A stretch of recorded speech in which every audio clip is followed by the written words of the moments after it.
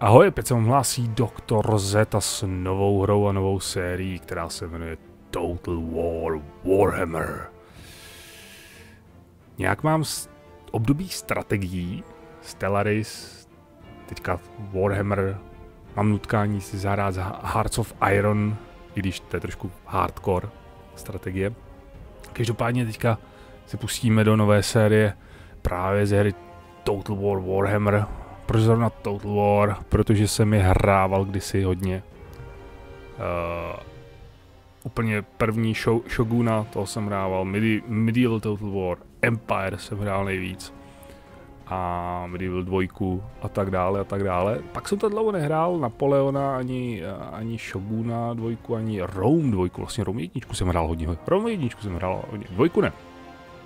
A teď jsem si říkal, že bych se docela i vrátil do téhle série. A kdy je lepší příležitost než uh, s Warhammerem, který je prej docela dobrý.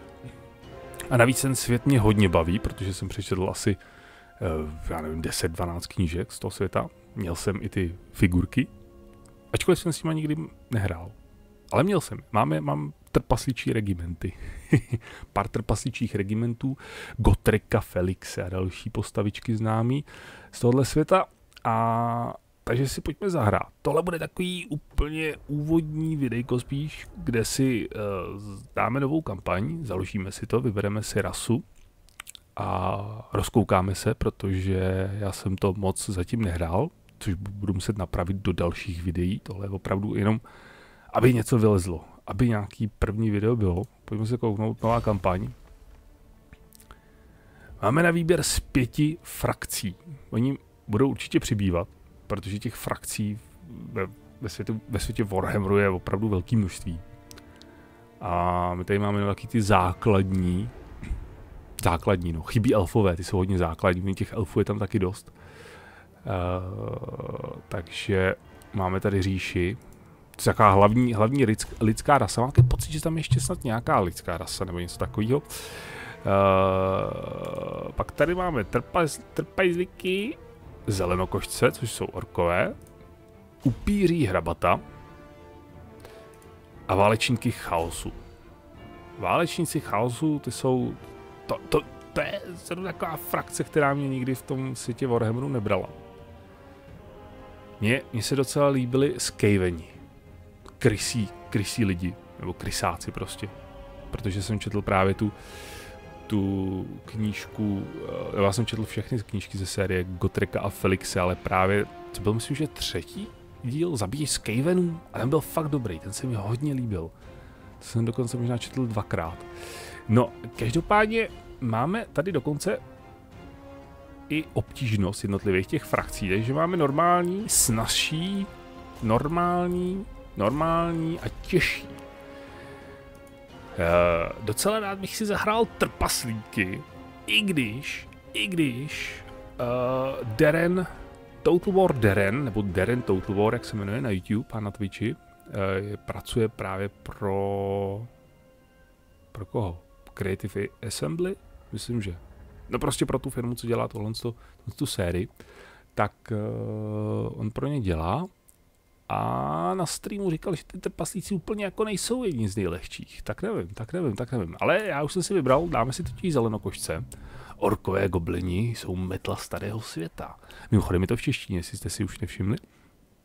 A máme vlastnosti, tady ten příběh, to, jestli budete chtít, tak si zapauzujte, přečtěte. Jenom to tak zhrnu, že máme vůdce Grimgora, který převezme vládu nad jedním kmenem zelenokošců. A ono to není tak, že by byl jeden kmen zelenokošců po celém tom světě, ale ono těch, je, ono jich je tam víc. Oni tam máte nějaký rudý tesáky a tak dále, takže orkové se řežou mezi sebou a můžou se i spojit v podstatě do jedné velké frakce. Ale co tady, co, co vlastně máme za vlastnosti té frakce? Tak můžeme zabírat pouze území, které náleží trpaslíkům nebo jiným frakcím zelenokošců. Aha, to je zajímavé. Takže nemůžeme zabrat třeba lidská území nebo upíří území. Můžeme zabrat pouze trpasličí území, protože trpaslíci a orkové mezi sebou jak si vedou eh, dlouholeté války a jsou to v podstatě taky úhlavní nepřátele, takže to, to dává smysl. Zajímavé, že teda můžu zajímat eh, jenom svoje území a území jiných zelenokoštů.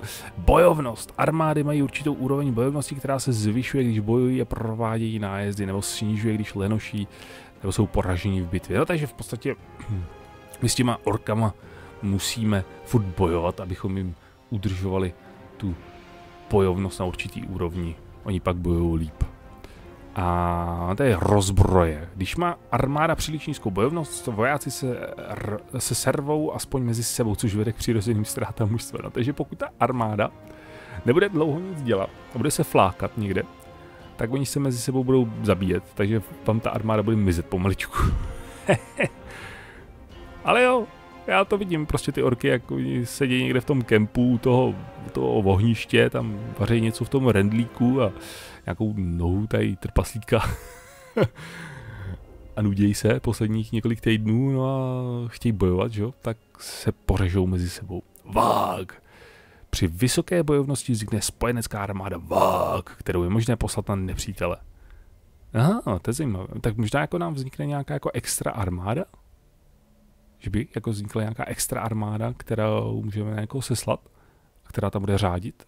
Můžeme ji ovládat, nebo ne? To uvidíme. Cestování podzemními chodbami. Hmm. Armády se mohou rozhodnout, že projdou sítí podzemních chodeb pod jinak nepřístupným terénem. Mohou se tak vyhnout nepřátelskému vojsku. Taktické, taktický přesun. Což zrovna není moc or, orkská záležitost, ale budíš. No a máme nejlepší jednotky tady. Obr, nestvůra. Máme všechny ty statistiky. Zbroj prorážející, výhoda proti pěchotě budí hrůzu, no ještě aby ne, obr. Vzduchoplavecký katapult, vzduchoplavecký katapult, to je dobrý. Naváděná střela a pavouk arachnarok. Uh, obří pavouk, tak to chci vidět, to musíme pak někdy naverbovat. Styl hry, početné jednotky, tady si musíme přečíst, jak to budeme hrát, že? Početné jednotky, nízké náklady na jejich udržování, bonusy k příjmům z nájezdů a plnění Goblini jednotky mají nízkou úroveň velení, takže goblini, goblini jsou takový jako... No, goblini byli vždycky takový, nic moc. Ale tady ten obr. Wow. Omezený technologický strom, no tak oni spíš polehali na počty než na technologii. Nemůžeme obchodovat, ajajaj. A omezený počet ekonomických budov. Hmm. Dobře, dobře. Já si možná ještě, ještě než se pustíme do toho, stáhneme trochu tu hudbu, protože možná hlas trošku, efekty trošku a vůbec celkovou asi hudbu ještě trošku, protože nevím, co ta hudba udělá na YouTube, tak to radši stáhneme. Bůh, jestli to není nějakým v nějakým copyrightu nebo něco takového. Sega je všelijaká na YouTube, tak uvidíme. Dáme pokračovat. Tady si můžeme zvolit našeho vůdce. Grimgora železnou kůži, anebo Azhaga řezníka. Grimgor, vůdce frakce, silný válečník bojující zblízká velitel. Hmm. Vlastní unikátní praporec nesmrtelných, který dodává sílu jednotcem černých orků v jeho armádě. On má další jednotky do začátku. Máme černí orky, černí orkové. Hmm. Orčí jezdci na kancích a ten vzduchoplavecký katapult, to je dobré. Si ještě pak vybereme obtížnost, a tenhle, tenhle je velký pocit jako víc easy. Tenhle ten vůdce. Pak tady máme Azaga řezníka. Mimochodem, na rozdíl od Rome a Shoguna a Medieval, tady velkou hraje, eh, roli hraje magie, takže budeme moci se sílat s našimi tady hrdiny i kouzla, který hrajou velkou roli v bitvách. A za řezník, silný válečník bojící zblízka, který může také sesílat kouzla smrti, pokud se mu podaří získat legendární čarodějnickou korunu může si zpřístupnit Vajvardu lepkožvejka. Ten překlad je super. Unikátní jezdecké zvíře. Hmm. Příjmy zrabování sídel plus 10%, diplomatické vztahy plus 10 s nemrtvými. A co máme do začátku? Lesní goblini jedoucí na pavoucích. Ty krása, to zní dobře. Orší borci. Borci. a goblini lučišníci. Eh. Prej. Grimgor je trošku lepší, snazší, tak toho si vezmeme do začátku. Povolit úvod. Uh, úvod je v podstatě tutoriál. A ten tutoriál je takový, jakože chvilku je nudný, protože vám říká, no tak vy a SD se pohybujete kamerou ale taky vám zároveň říká ten příběh. No, vykašleme se na to. Já už jsem si ho prošel. Sice to ovládání ještě nemám úplně v ruce. Některé některé prvky, které vidím na streamech a na, na videích mi unikají. Třeba jak posílat jednotky obloukem, to úplně ještě nevím. To budu muset zjistit, protože to je zajímavý přesun. Ale nepustíme si to, dáme si normální obtížnost a vezmeme si Grimgora. Spustit kampaň. Teď to bude asi půl hodinu nahrávat. Ne, je videjko, super. Musím trošku improvizovat, uh, improvizovat nahrávání, protože mé obvyklé programy, se kterými vždy nahrávám, jak si nefungují. Fraps nefunguje vůbec. A Shadowplay funguje jenom ve full screenu. A když to dám do full screenu, tak se to strašně trhá ten obraz. Ale neskutečně brutálně. A nepomáhá vertikální synchronizace, VSync, nic prostě. Brutálně se to seká. Úplně trhá ten obraz, je roztrhaný kompletně. Takže jedu přes OBS. Hm. Takže uvidíme. Bude trošku asi šity kvalita, ale pokusil jsem se to nějak zvednout. Ale bohužel to asi nepůjde na 60 fps, protože s tím kompem, co mám, nejsem schopný udržet v téhle hře při nahrávání 60 fps. Tady v podstatě probí, prochází tenhle ten tenhle ten dědu, dědula, který je ve všech frakcích a je takový rádce, takový našeptávač, takový parchant, který všem radí. Jaký čaroděj možná. Horda orků. Loktar Ogar. Ale to je trošku jiná hra, ale budíš.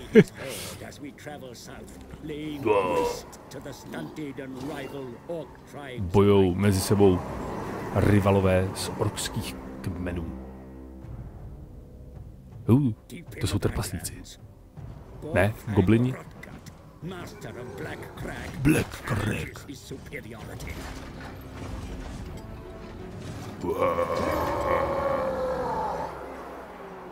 To je velký vůdce, velký šéf. Grimgor, to jsme my, to jsme my, bacha. Útočíme na ten černý krak. Rodgat. Musíme dobít zpátky krák.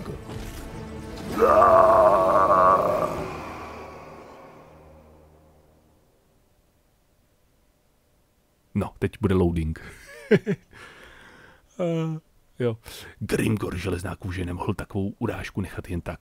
Gorfang ožrala, který vládne na černém kragu, ho prý pomlouvá a jelikož už se černý ork pod rudokou horou stejně začínal ludit a to nedočtu. Proč mám tak rychlý počítač? ne, to je právě součást toho úvodu. Ah. On the plains to the west, Rotguts led Rotguts. mass against you, angry at the loss of their stronghold. Ty jsou naši nepřátelé. Hmm. Musíme vyhladit rudé tesáky.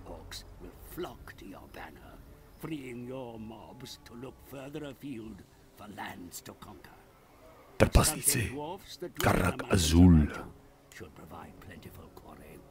takový hodně do, Warhammer je vždycky hodně do toho pána prstenů mi to trošku se tam cpal.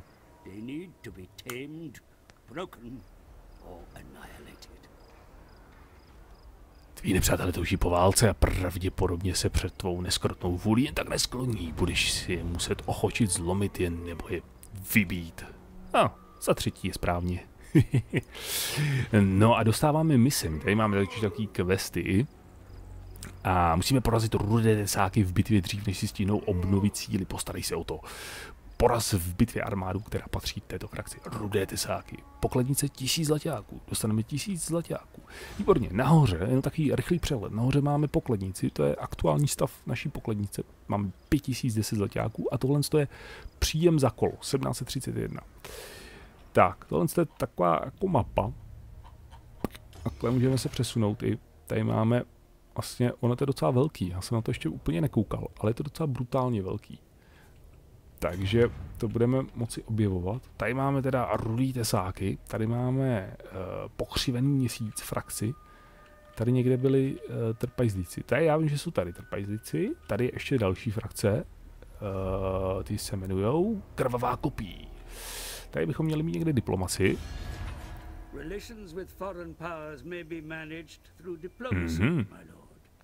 Consider your situation carefully before accepting any agreement. Jo, jo, musíme zvážit naši situaci, než něco přijmeme.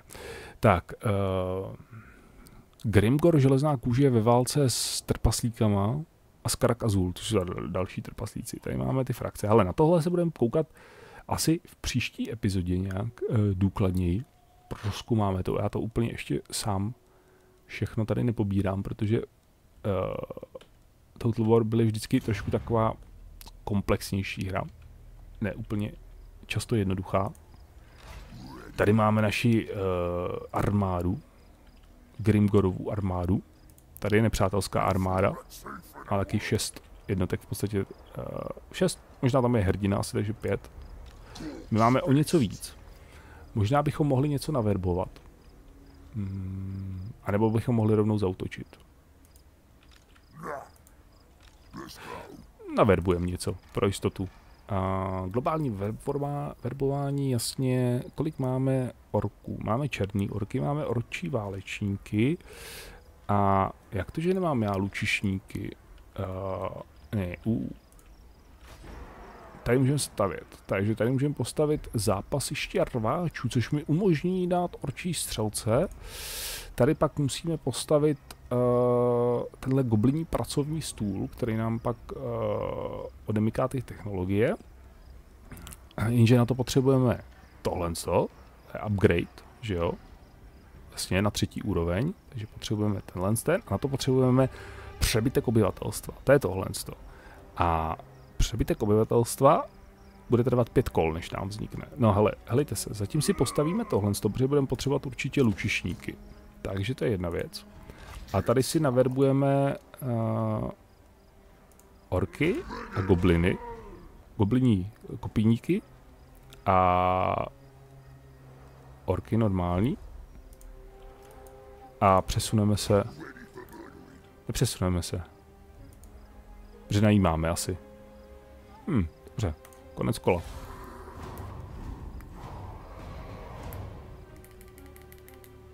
Jak říkám, do příštího videa to bude potřeba ještě pořádně nahrát tu hru, abych vigil on expenditure must be maintained for your domain to prosper.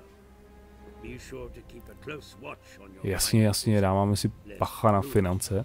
Do příštího videa to bude potřeba pořádně nahrát, pořádně zahrát a bude potřeba se seznámit s tou hrou, takže to se pokusím dělat tak nějak přes víkend, takže jako další díl očekávejte spíš až tak v příštím týdnu. Ale jenom jsem to chtěl právě udělat takže takový, hele, bude Total War série. OK.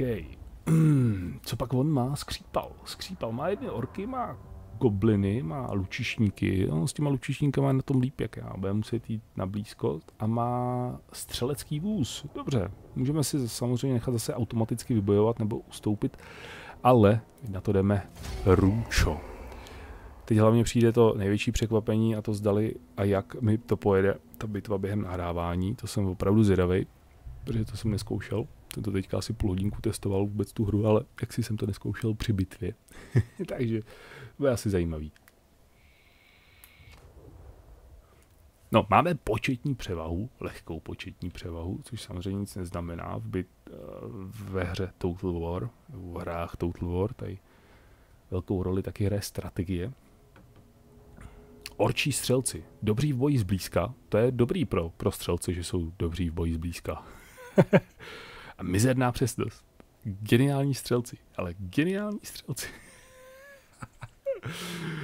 A, tak jo, hele. Ale mně se to zdá, tyjo, jak já jsem hrál ten svůj testovací ten. Že teďka mám nějaký vyšší, vyšší pohled. Když jsem hrál to testování, tak to bylo takhle na blízko strašně. Teď je to nějak vysoko. To fakt se stalo. Uh, hele, tady máme Grimgora. To si dáme na jedničku skupinu. Um, ty hledáme jako do... Ne, tyhle dáme jako dvojku. tyhle nechci jako dvojku. Uh, tyhle dáme jako trojku. Střelce dáme jako čtyřku, tyhle dáme jako pětku a tyhle dáme jako šestku. Tak. Hm. Dobře. Trojka, ale kde oni jsou?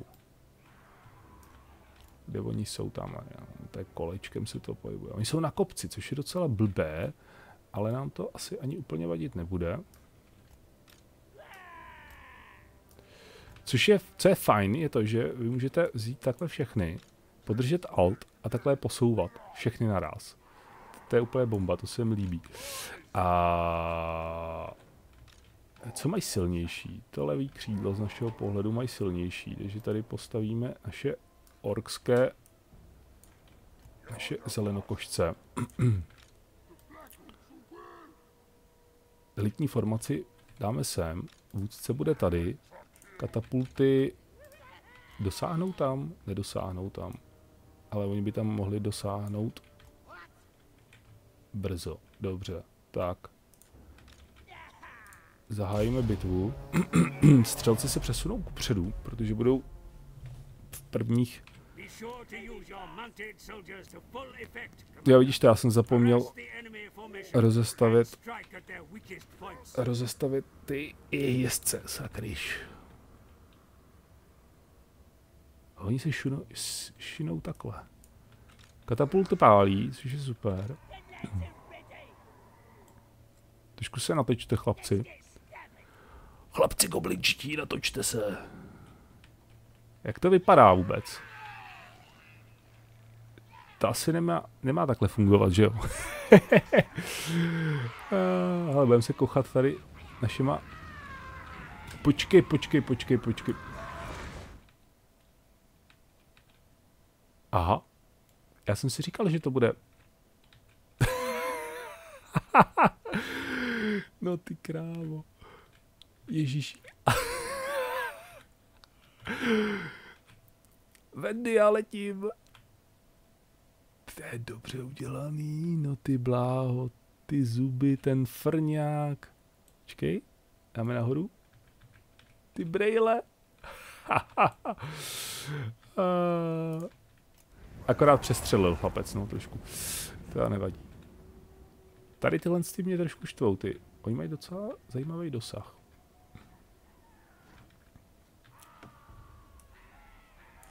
Ale mohli by se...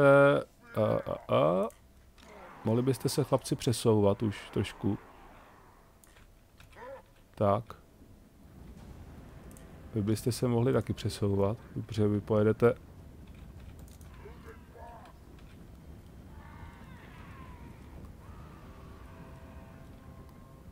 pojedete tady z boku na ně. A tyhle ty zautočte.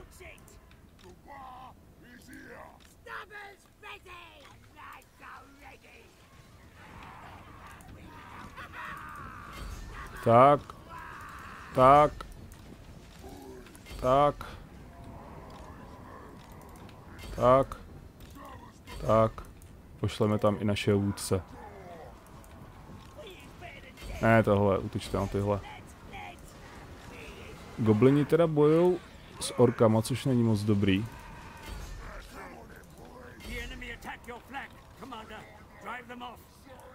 Zkuste, zkuste zautočit na tyhle. Vy doufám už nic nepálíte, protože to by bylo docela masakr do vlastních řad. A jak to, jak to bojuje tady? Bojuje to tak, že vítězíme a fialoví orci prchají. Grimgor vítězí! Počkej, počkej, počkej, počkej, počkej, počkej, počkej, počkej, počkej, tady nějak jde totiž uh, káčkem, tohle z toho, jo, nice, akorát to nevím, jak to odpauzovat zase, pečkem? Jo, pečkem, super. Škoda, že to mám fakt jenom na těch 30 fps. Jako mě to jde asi na 40, na 50 chvílema, ale to video by bylo blbý na 60. Takže hold bohužel jenom z 30 fps.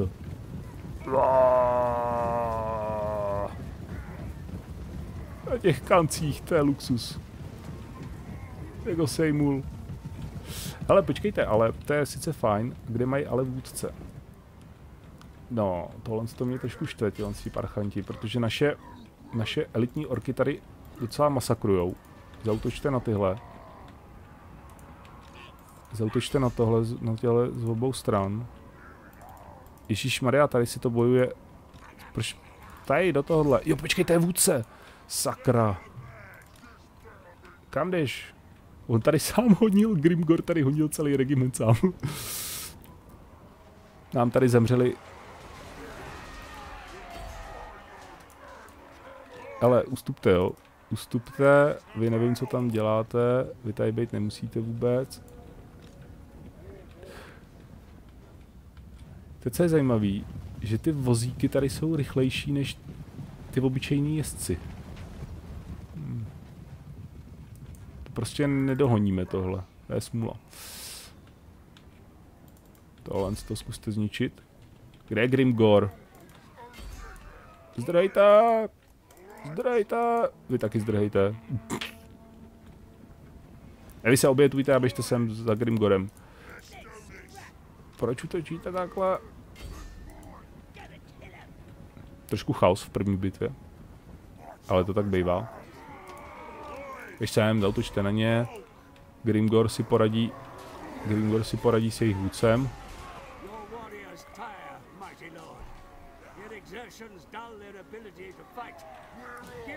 No jo, jo, jsou unavení, no. Ne, jak to, že utíkají z bitvy?